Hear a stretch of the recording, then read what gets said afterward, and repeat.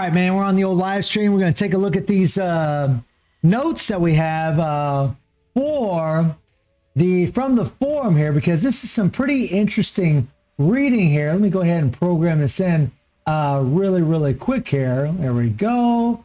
And so we can bring this thing up and uh, let's take a look at this and see what we got here. So let's check out what the old developer handbook has to say today.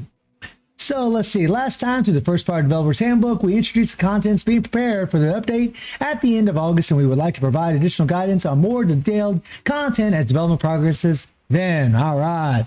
In addition, we also, hello YouTube. In addition, we also get into the content that was introduced previously due to the fact that decisions were still being made. So, direct link to Developer's Handbook Part 1. All right. Uh, so we're getting the new story mode Big thumbs up, big thumbs up. The new story mode, that is awesome. And it's going to unlock normal, hard, and expert. Lots of sweet little rubies. So definitely, definitely good thing, guys. Kick ass. Loving it, loving it. Then we have what's called evolved monsters. All right. So they mentioned a little bit of this in the last developer handbook. Overpower and new forms of damage. Enemies reinforced by the Phantom Gate appear, okay, at higher levels than before and have a defensive stat called Overpower.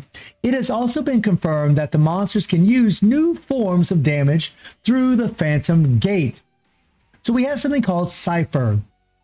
To counter these stronger enemies, the tuners have analyzed the type of Trojan horses and new enemies in order to come up with new countering strategies in addition to the new equipment plugin that can help narrow the gap with more powerful enemies, we have found vulnerabilities given to the enemy and modified them to combine them with the fighter data. So we're going to be able to put what's called plugins on our characters to allow us to do more damage or to give us advantages against specific bosses that have these phantom gates.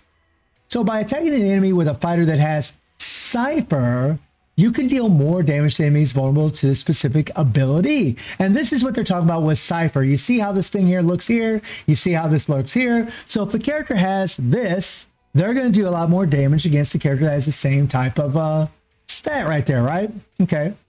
So new UE Ultimate Fighter. So we're getting a new rarity. I know some people are going to feel some kind of way about that, including myself, but I want to give the devs the benefit of the doubt and wait and see what we get in the update before I reach to any kind of judgment on a new rarity. But I got to say, initially, I didn't really like it, but let's read about it. Let's check it out because when you read about this a little bit, you'll see that it might not be as bad as what you actually think. Then again, it might suck. We'll have to wait and see. But UE stands for ultimate, right? So we're going from extreme to ultimate, right? What is UE Great Fighter? I see some guys in my chat already don't like it, and then some do. Uh, it is a fighter endowed with new abilities developed by the tuners in order to counter the monsters that use the Phantom effect, which appears based on the story of KOF 2003. Okay, so four characteristics of UA Great Fighters. So now you're going to have Awakened Tier 9 instead of Tier 7. We're going to go to Tier 9. I definitely feel some kind of way about that. But okay, we'll have to see just like, are they going to increase the amount of memories that we need to get? Or, or is it just increasing the amount of prime memories? So let's read a little bit further. So UE Great Fighters will appear with their maximum achievable level increased so that they can more easily deal with the stronger enemies. Along with that, the supply and demand for prime memories and a difficulty for growing the existing awakening tiers 1 to 7 will be eased considerably. Now, we'll have to see what that actually means. Uh, easing our pain. They've said this before about easing our pain. And the last time that they said this, it didn't help. It didn't help at all. It didn't really change anything at all. I mean, something to ease the pain would be, oh, I don't know, increase the rates, right? I'm not I'm not trying to be greedy because we've getting so much here lately. We're getting all these rubies, but you want to ease our pain, Netmarble. That's how you do it. That's how you ease our pain, or just you know give us more rubies. I mean, whichever the case may be. And then we have Phantom Mode. So UA Great Fighters have UE skills, not EX skill, UE skill. So this could be a new thing that replaces current EX skills. Okay. So it's probably going to be in the same place that our EX skills are at. They're called Phantom Awakening skills. So PA or pass, I guess we'll just call pass skills, uh, which are improved awakening skills that can respond more effectively to the Trojan horse. If you use the Phantom Awakening skill, you will enter Phantom mode, and you can build up the Phantom gauge through battle for the duration. In Phantom mode, the UE skill changes to a Phantom UE skill. Interesting. So the skill's going to change depending on the game mode or whenever we're facing this game mode called Phantom mode. And the Phantom UE skills activation effect gets more powerful according to the number of Phantom gauges currently possessed. Okay, so the more Phantom UE skills applied, the more damage they're going to have, the more damage we'll be able to do. We'll have, we'll have to see how that plays out.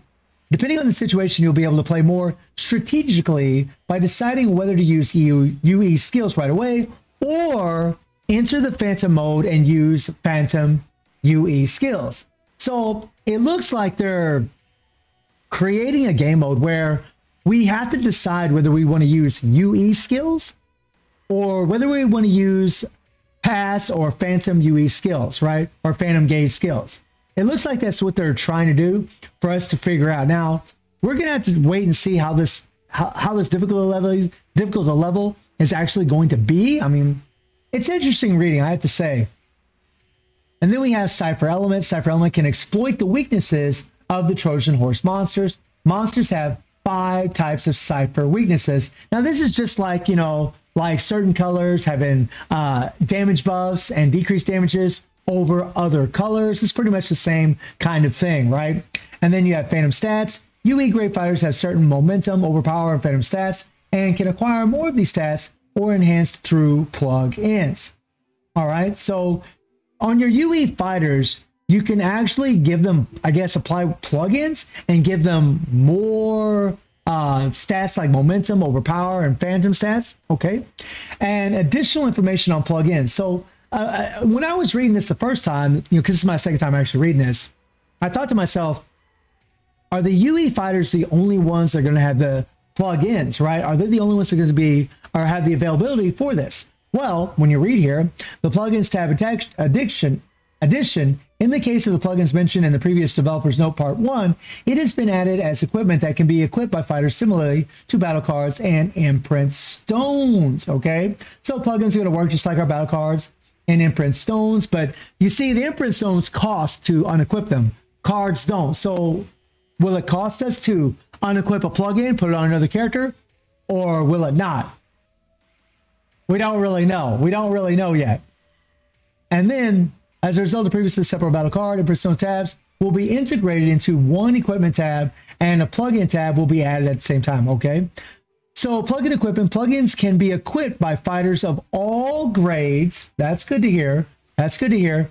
Each fighter can equip a total of four types of plugins, and but UE fighters. Nice little interruption there from my buddy in the chat, Rogue One. Shout out to you, buddy. Nice, nice, nice, nice. Okay. Anyways, uh, each fighter can equip. Uh, sorry, and UE grade fighters can equip one additional type. So your regular fighters that are non-UE can equip four plugins. Your UE fighters can equip five plugins in total, which is essentially going to give them more of an advantage. Regardless of the type of plugin, you can acquire it by playing the plugin plant. So another game mode that we're going to have to play, we're going to see how difficult this is actually going to be and then they explain that there's a lot more details about plugins that they're going to have to go through and find out. And yeah, we're just going to have to wait and see, guys. And then ending developer's handbook. We have now illustrated all the content we have prepared so far. We will continue to listen to the opinions and contenders, blah, blah, blah, blah, blah, blah. They're saying thank you, great job, community right? And then lastly, as a new UE grade is added this time, we have prepared for the contenders to enjoy this content. And we have also prepared generous rewards so that you can acquire two types of UE grade fighters through the event, which hopefully you will enjoy. So event reward preview, special site, Awakening 5, tier UE Great fighter by one. So it looks like they're giving away a free UE fighter and then event play UE Great fighter by one. So it looks like we're getting a free UE fighter, right? I mean, we're going to have the Ruby login event where we're going to have, I mean, if you've been playing this game for the last three years, you're going to have 54,000 rubies from the returning Ruby login event. That is three pities, right? Doesn't count the cards, but that's three pities, right, for free. And they've been recently giving us all these rubies. So the event's looking pretty awesome, guys, but I'm just not sure about the new rarity. I'm not really sure if the game really needs it, but we're going to have to wait and see, you know, what entails in this because if there is actual strategy, if there's actually good rewards in these new game modes, that's going to be the big thing, right? Are there going to be new good rewards in this? Because if not, this is really just a big bunch of power creep that the game really doesn't need and really doesn't solve the problems that the game is having as far as actually having some good new content. So let me know what y'all think about the developer's handbook. Now I do stream on Twitch at 9 p.m. GT plus 7 time. The link is in the description below. And I hope you enjoyed the video. Thank you for watching. Y'all take care and have a good one. See everybody. Take care.